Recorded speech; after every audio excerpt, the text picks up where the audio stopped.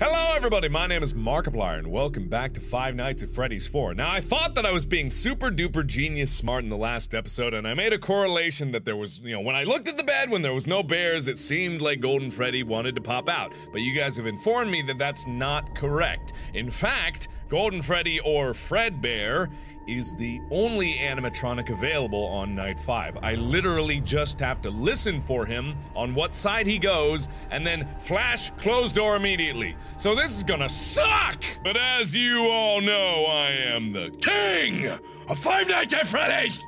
And I will not give up my crown to anybody who wants to impersonate a Golden Freddy or a Nightmare Fredbear or whatever his name is now. I'm gonna beat him, and I'm gonna do it very quietly because I'm gonna listen very closely for it, and he's not gonna sneak up on me. Oh.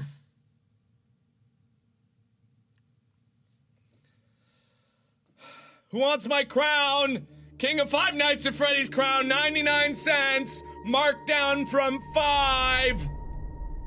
Old King sucks dong. Can't play game right. All right, so apparently I'm not just